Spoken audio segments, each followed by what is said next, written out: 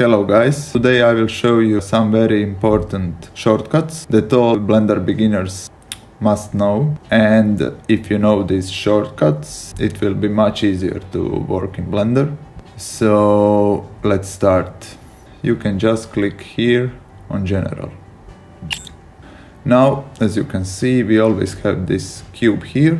If you want to delete it you can just grab it with your mouse, left click and press delete on your keyboard and that's it. Now if you want to move around the blender you are doing this by clicking the middle button on your mouse.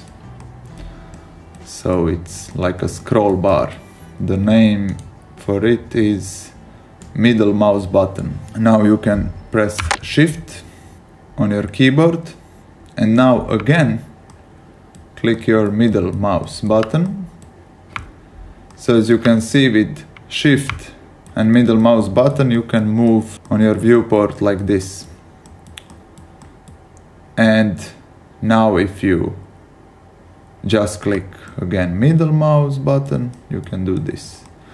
So uh, by mixing these two combinations you can do something like this in your software. And this is very important very very very important. Of course you can also zoom in and zoom out just by you know scrolling the scroll bar on your mouse. So actually without mouse if you if you're just using for example notebook laptop and you don't have a mouse it will be much harder to do anything. It's actually almost impossible. But it's not impossible. So, as I already uh, showed you, with the cube, you can just select your object. For example, this is camera, uh, by clicking the left mouse button. And now, when we clicked on camera, you can see data here and you can change something.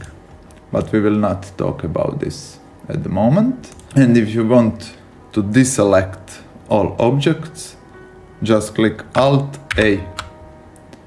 And now you deselected all objects but so for example if I add cube and now it's selected I click alt a and now it's unselected.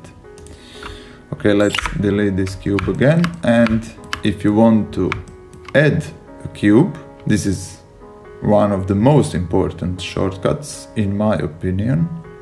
So if you want to add cube or lights or text, uh, almost anything that you can uh, add actually in Blender, it's by clicking Shift A. So when you click Shift A, you can add mesh for example cube you can add curves surfaces text as i said. And as you can see a lot of other stuff. For example image you can add a reference image. It's uh, very important if you are creating car models or uh, apartments or something like that. So for now we will just add a cube so now we have this cube again. So another shortcut that is very important is G. So when you select your object, you can just click G and now you can move around the blender. Uh, you can also see this little infographic. It's actually for showing uh, for showing your perspective where you are at the moment. For example, if you click Z, you are on the top. And if you click G now you can put for example exactly here if you want. You can also zoom it and move it with shift and middle mouse button. And now click G again and now you can put it for example exactly here if you want. You can also change perspective. So if you want to put it maybe down there you can just click again G and if you want to put it uh, perfectly down then now click Z.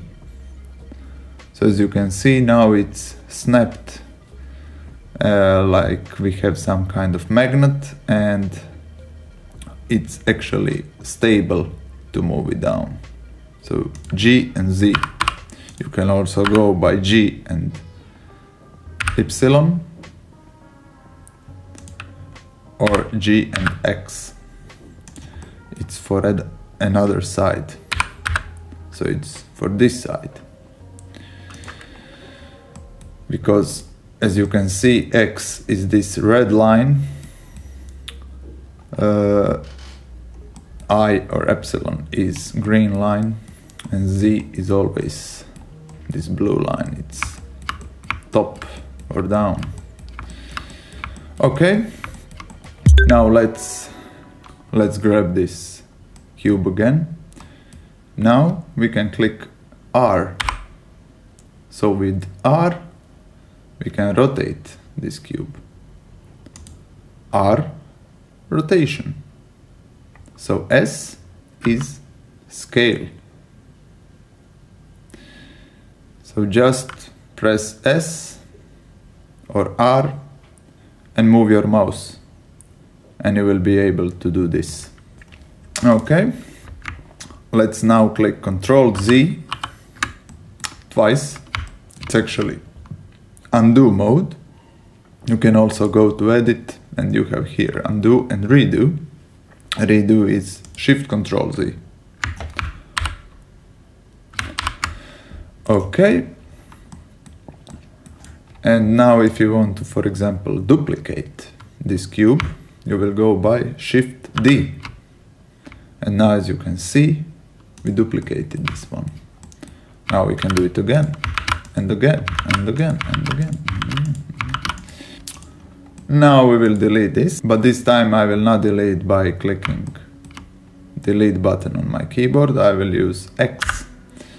So that's another shortcut for deleting stuff, but it's not fast as the delete shortcut because it will always ask you again if you want to delete it and I will click yes. Now let's go again with Shift A and let's add UV sphere and as you can see this UV sphere is you know it's not perfect as it should be so we will click control 3 and as you can see now it's better. You can also click control 4 but be careful with that because what this do it's actually adding more polygons to this ball.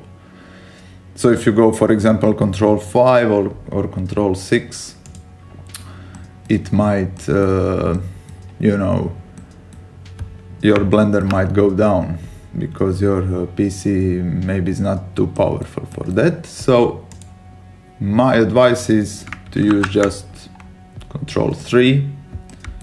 It's it's actually enough for uh, standard projects because as you can see this ball is pretty cool okay so now another shortcut is to go to edit mode. Uh, everything that we did here we created in object mode but if you want to go to edit mode you can choose this or you can use shortcut and it's tab. So just click tab and as you can see now you are in edit mode okay so now let's delete it go again with shift a and let's add a cube again and now let's click tab so now we are in edit mode and as you can see we can choose three options here. So we can pick these points. The real name for this is actually vertex. And we can, of course, you know, move them. So we can also choose edges and faces. So now we will uh, just use faces.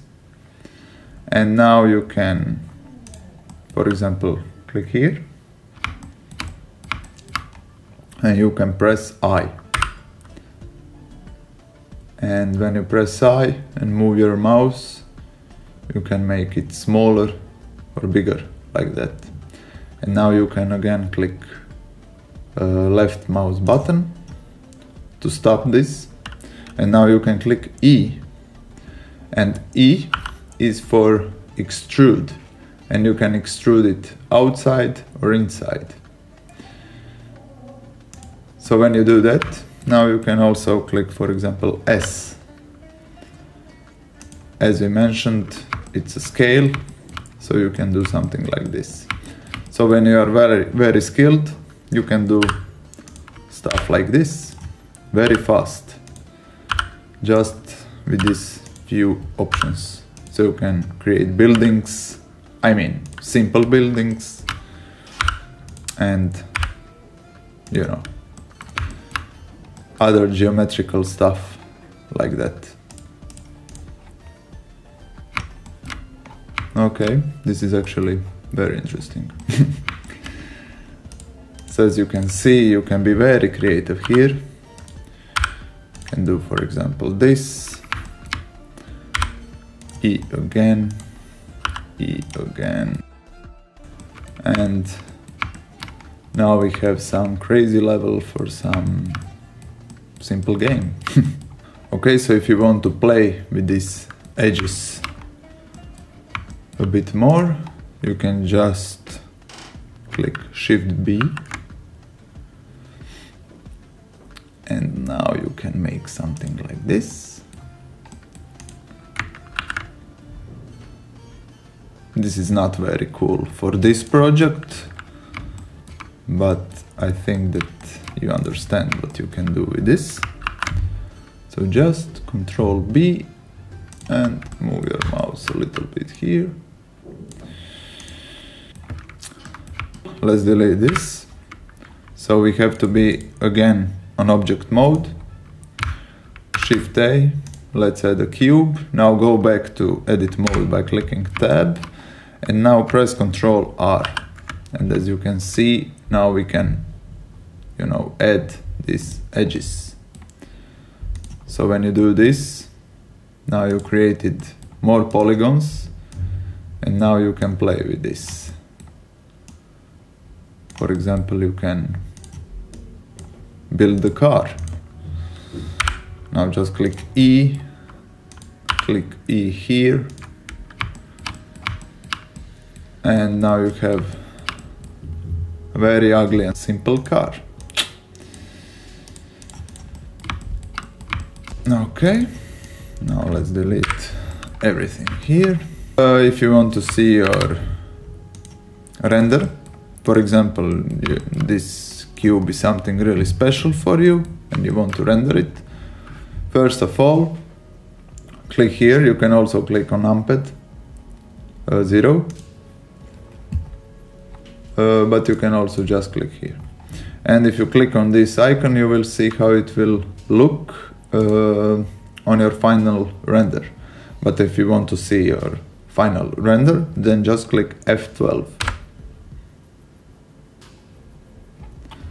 So that's it for now with F12. And let's add with Shift A a light. Let's add a point light here Let's click F12 again and now we can see that something changed here. Okay, uh, something also very important is Z. So if you click Z, uh, you have four options. We are at the moment at solid options, uh, at solid option. We can also go to rendered option so you don't have to always press F12 you can see how it looks like when it's rendered but of course this is not uh, the best option because it will uh, use a lot of power from your PC so even if you have a very good PC this is not the best option to use uh, very often. Uh, you also have wireframes. And if you just need wireframes you can also just click shift Z.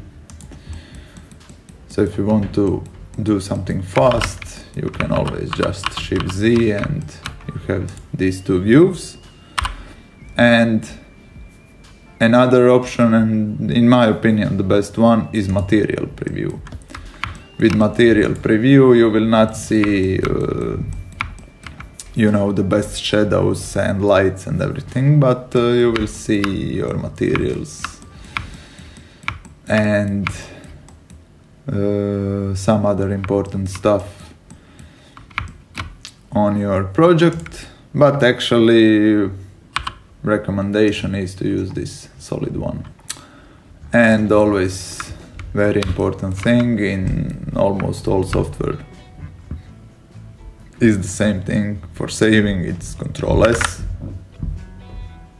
Of course if you if your project is not already saved it will open a new bar like this so you must create your document but if you have already saved your document then you just can press Ctrl S whenever you want and it will save your file.